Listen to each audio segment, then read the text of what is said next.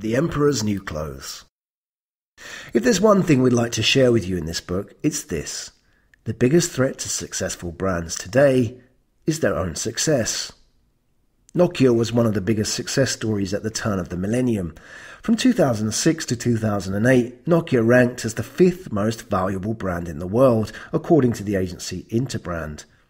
Nokia sat at the top table with Coca Cola, IBM, Microsoft, and GE.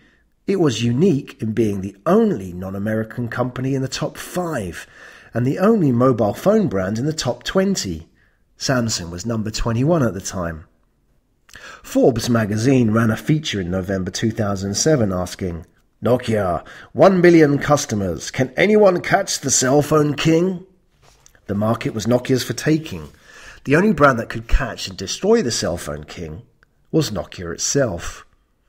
To understand why it threw its lead, we need to first retrace its steps, understand the trajectory, and work out how we don't repeat its failings.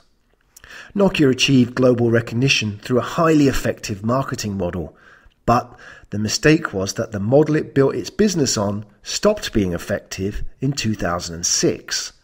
The model we're talking about is the marketing model of the 20th century advertising, big ideas, brand stories, celebrities, visibility. It's a model shaped by ideas like positioning, awareness, brand management. It's also a model shaped by the writings of industry patriarchs like David Ogilvy. Ogilvy was a marketing genius. His ideas not only shaped advertising, but business in general in the 20th century.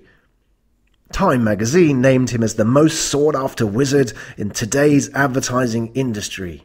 Others said of his publications, required reading for anyone in business. Media Week. Mandatory that everyone in advertising read Ogilvy's first book. Business Insider. The magic still lingers even in the 21st century. His old company, Ogilvy and Mather, recently scooped a prestigious Cannes Lion Grand Prix for its magical flying campaign for British Airways. Ogilvy's ideas cast a long shadow on the creative industry. That's why it's fitting to call his era the Ogilvy era. This is the era of Madison and Vine, Mad Men, and TV ads from your childhood that you still remember today. So effective was the model of the era that its ideas are still ingrained in everything we do in the 21st century. How we recruit people in the industry, how we train them, how we measure them, how we think and talk about marketing, etc. It seems almost unquestionable, heretical even, that someone like us should dare challenge the status quo. That's why we wrote this book.